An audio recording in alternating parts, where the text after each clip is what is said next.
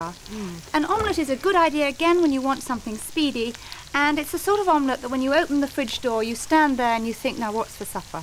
So you may well have uh, an onion in the larder, eggs in the um, uh, refrigerator, a little bit of bacon, and I'm now having uh, just fried one onion. I'm now going to add a few pieces of chopped bacon. I snipped those with scissors. scissors. It was a good deal easier. And then I had two potatoes in the oven, in sorry, in the refrigerator, and there we are. They're cooked ones and just been diced. And again, I'm going to use my spoon with the sawn off end and just let those brown nicely. Now this makes a proper meal of an omelette. If you just have a plain omelette or a tomato omelette, I don't think that men and, and boys find it really filling enough. And I don't find it tasty and imaginative enough. I think omelettes are very dull on the whole, plain ones. I think potatoes good in an omelette, not too much. This is uh, for four people and I use two potatoes. And you need a nice big pan, preferably a non-stick one. And for four people, six eggs and uh, just blend the eggs until they are mixed together, the yolks and the whites. There's no need to do any violent whisking, which takes time and energy. This is a relatively easy thing, an omelette, isn't it? Always for someone on their own, too, to make. Yes, and it's a jolly good way of using up leftovers because so often you've got potatoes left, um, or perhaps you've got a couple of rations of bacon that wouldn't stretch to the whole family. And a small wire whisk helps to do this rather quickly. And I'm not adding any water or milk to the omelette because I'm putting a little tomato in it and the water from the tomato comes out and so that replaces any liquid that you might put into the omelette in the normal way. And salt, just about that much. A little bit less, I think. There we are. People can Just always add their own. a, a teaspoon. And some black pepper. Now you can think of lots of different kinds of omelettes that you could have um, of things that are in the fridge. You could put a little bit of canned tuna in it. There we are, some tomato. If you're energetic enough, take the skins off because it does make it a lot nicer to And have. those going right at the end, really, or almost at the Almost end. at the end before adding the eggs. And a little bit of snipped onion tops. I saved those from some spring onions that we had for supper. Is that just for the colour? Well, it just makes it that much nicer. I'm doesn't it? enjoying myself here. I hope it doesn't all spill out of the. There we are. And then the Ready six eggs. go. Oh, Mary, you really do make things look so appetising. Let's get some of this out of the way. That's cooled it down again, of course, now, but the egg's beginning to cook already. You've got it now. You can hand your chief I'm the, chef. cook, I'm the cook now. So just move it round and keep it over a fairly full heat. Now we've got a lot in this pan. It's going to take a moment to set. So shall we start on the uh, salads and let that set on its own? And when we hear it catching, we'll nip back.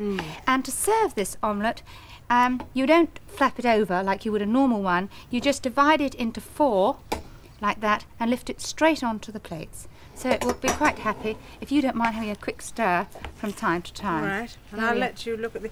Now you know what you've got over here for salads, which obviously need no gas or electricity. Look to me like you know the lunch or the dinner vegetables. They are, aren't they? They are. So, so if you've by any chance had a cut and you've just done your vegetables and you can't use them, you've nothing to cook on, you could always have ham or a can of ham and then make a quick coleslaw from sprouts and from carrots. I've started here by slicing some sprouts. They make a very good coleslaw indeed, just by slicing them finely.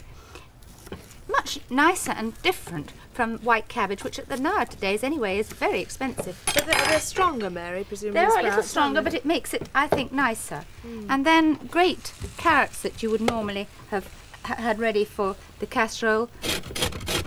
I'm listening to every word you say. You? Even though I'm What do you think of my grater? I think it's plastic, isn't it? Yes, it's very good. It, it's not good for things like nutmeg, but it's excellent for vegetables. There we are. And it all goes straight through to the bottom, and you can use it as a mixing bowl if you want to. So I'll put that just here. That's the sprouts, just as many as you had for lunch. Lovely green. Then the carrots. If you like, you can put a little celery in. And I'm going to put, uh, mix it with mayonnaise. A couple of tablespoonfuls of mayonnaise. Now I'm not using my own mayonnaise because I don't make it in the winter when we don't have so many salads. I've got some made up French dressing here and I'm going to mix it with the mayonnaise. And I know the secret of your salad dressing is that you put, uh, for that amount, a tablespoonful of sugar, which is more than I would have used, but obviously perhaps is the secret for the success of it. I think it makes it much nicer. So there we are, a very quick sauce for it to go with. This is looking lovely over here as well. Good. Is it ready? I think we ought to have a quick look at it, don't you? That's absolutely perfect. We should take it off the heat. Now this is laminated, so it's quite all right to put it on. And that's ready. Everybody should be sitting down. Give them a yell and give them a quarter of it with a green salad if you like. Uh, but it is essential that everybody's ready. It'll spoil in five minutes. What a shame. We must hurry up and finish the programme, I think, don't you? Here we are. Mix the coleslaw all together with the uh, sauce. Mm. And it does look rather nicer. Shall we tip it out into this dish? So you can have a really good look at it. And you see, all, all again, the protein and the vitamins you've got in there, Mary. It's a very good meal to have from that point, isn't it? There we are. You can really see. Oh, it's lovely. And everything's raw and very good for you. Mm. There we are. Good. One more quick salad thing have you got for us? Yes. Tinned potatoes. Do you like those? Well, they're excellent for a salad. So if you take a can of potatoes, drained, and then add a little celery. Talk about clearing the decks. Um, you can put celery, you can put apple, just whatever you like. If you put apple in it as well, I leave the peel on. I'm just doing celery today. And then having cut, these are the outside pieces, the rest you can eat with cheese and with a meal. What else goes in there, Mary? Because again, we're running out of time, I'm afraid. There we are. Mayonnaise. Just blend it in with mayonnaise and just a soupçon of curry powder. And when I say a pinch, I mean a pinch.